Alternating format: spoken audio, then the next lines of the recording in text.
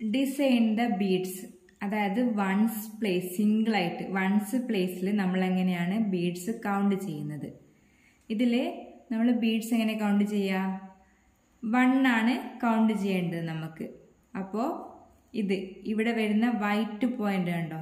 ഇതാണ് വൺസിന്റെ പ്ലേസ് ഇവിടെ ഈ സെന്ററിൽ നിന്നാണ് നമ്മൾ ബീഡ് ഡ്രോ ചെയ്യാൻ തുടങ്ങുക. ഇവിടുന്ന്.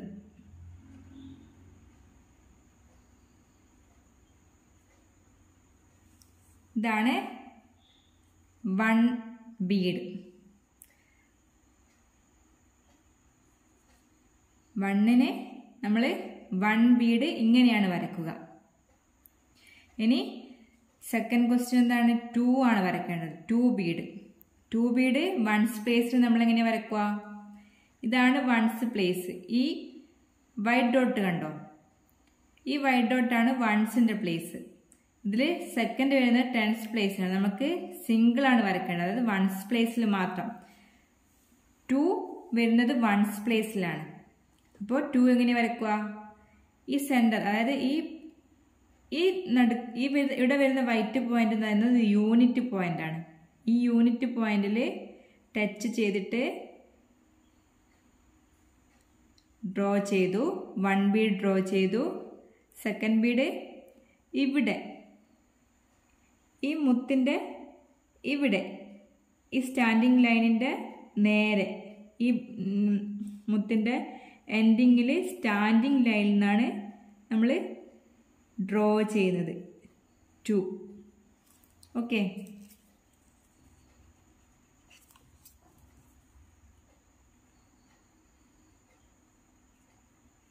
ഇവിടെ നിന്നാണ് ഡ്രോ ചെയ്യുന്നത്. ഇനി എങ്ങനെയാണ് ത്രീ ബീഡ്സ് കൗണ്ട് ചെയ്യാം. ഇവിടെ ത്രീ ആണെങ്കിൽ ഇവിടെ ഇതാണ് വൺസിന്റെ പ്ലേസ് ഇവിടെയാണ് യൂണിറ്റ് പോയിന്റ് വൈറ്റ് പോയിന്റ് വരുന്നത് ഇവിടെയാണ്. ഇവിടുന്ന് ഇത് വൺ ബീഡ് ഇവിടെ എൻഡിങ്ങിൽ സ്റ്റാൻഡിങ് ലൈനിൽ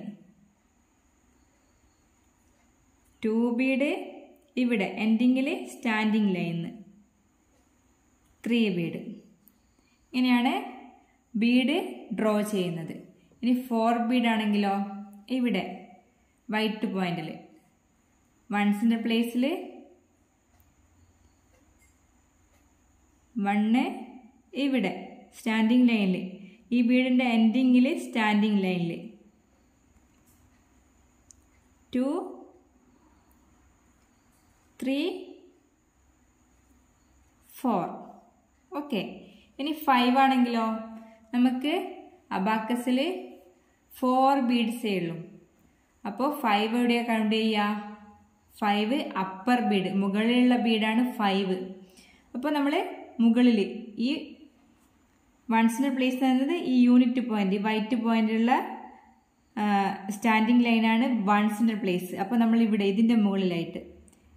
ഇവിടെ ടച്ച് ചെയ്തിട്ട്. ബീം ടച്ച് ചെയ്താലേ നമുക്ക് ബീഡ്സിന് വാല്യൂ ഉള്ളൂ. ടച്ച് ചെയ്തിരിക്കണം ഈ ബീം ഈ ബീമിൽ ബീഡ് ടച്ച് ചെയ്തിരിക്കണം. ഇവിടുന്ന് തുടങ്ങിയിട്ട് ഇങ്ങോട്ടാണ് ഫൈവ് ഇനി സിക്സ് ആണെങ്കിലോ?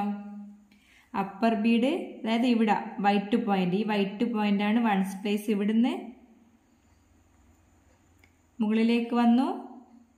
Lower bead one bead six okay next seven upper bead touch ചെയ്തു ബീം ടച്ച് ചെയ്യണേ. ടച്ച് ചെയ്തു. ഇനി ലോവർ ബീഡിൽ ടു ബീഡ്സും കൂടി വേണം. എന്നാലേ സെവൻ ആവും. ഇത് ഫൈവ് ആയി സിക്സ് ആയി. ഇവിടെ ഈ പോയിന്റും തുടങ്ങണം. ആയി. ഓക്കെ ഇനി എയ്റ്റ് എങ്ങനെയാ? എയ്റ്റ് ഈ യൂണിറ്റ് പോയിന്റ് ഈ വൈറ്റ് ഡോട്ടിന് എടുക്കുകയാണ്. Five six seven eight okay ഇനി നയന് വൺ സ്പേസ് ഇവിടെ യൂണിറ്റ് പോയിന്റ് ഈ വൈറ്റ് ഡോട്ടിന്റെ എടുക്കുകയാണ്.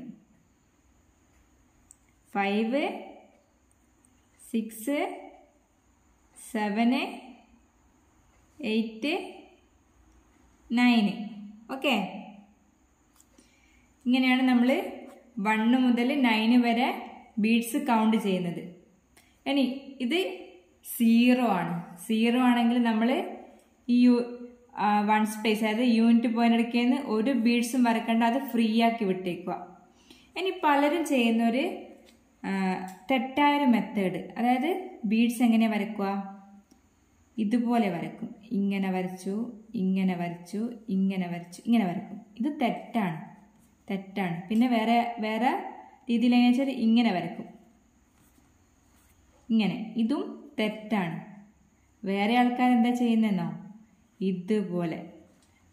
ഒരു ടച്ചിങ്ങും ഇല്ലാതെ ഇതുപോലെ വരക്കും. അതും തെറ്റാണ്. ഈ ബീമിൽ മുത്ത് ഈ ബീമിൽ ടച്ച് ചെയ്തിട്ട് നമ്മൾ വരച്ചു കഴിഞ്ഞാലേ അതിന് വാല്യൂ ഉള്ളൂ. ടച്ച് ചെയ്തിരിക്കണം. ഇതാണ് അബാക്കസിൽ കാണിച്ചിട്ടുള്ള ബീം. Sleeping line. ആ സ്ലീപ്പിംഗ് ലൈനാണ് ഇത്. ഇതാണ് ബീം ഈ ലൈന്. ഈ സ്റ്റാൻഡിംഗ് ലൈന്. ഇതാണ് മുത്തുകൾ കോർത്തിണക്കിയ റോഡ്. ഈ സ്റ്റാൻഡിംഗ് ലൈനാണ് റോഡ് എന്ന് പറയുന്നത്. മനസ്സിലായോ?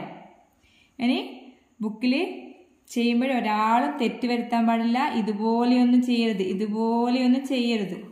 അതുപോലെ ഇതുപോലെയും ചെയ്യരുത്. പിന്നെ ഇങ്ങനെ ചെയ്യാൻ പാടില്ല. ഫൈവിന്റെ പോയിന്റൊക്കെ ഇവിടെ ബീമിൽ ടച്ച് ചെയ്തിട്ട് വേണം നിങ്ങൾ വരക്കാൻ അല്ലാതെ ഇവിടെ ഒന്നും കൊണ്ടുപോയി വരച്ചു കഴിഞ്ഞാൽ അതിന് വാല്യൂ കൊടുക്കില്ല.